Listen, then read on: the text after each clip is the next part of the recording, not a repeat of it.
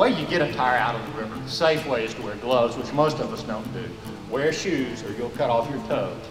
And it is best to go in low river times because you can see the tires. And they're mostly along sandbars. Now, South Georgia, that's just out because you've got the gumbo and the goo, and it takes a tractor and a winch to get the things out of the ground. But where you've got sand and sandbars, you can actually start at the top of that rim and get a little bit of the sand out and start rocking it, get the water flowing, and it's like panning gold, and you get the river to work for you. You rock it back and forth with two people, and eventually that tire breaks free.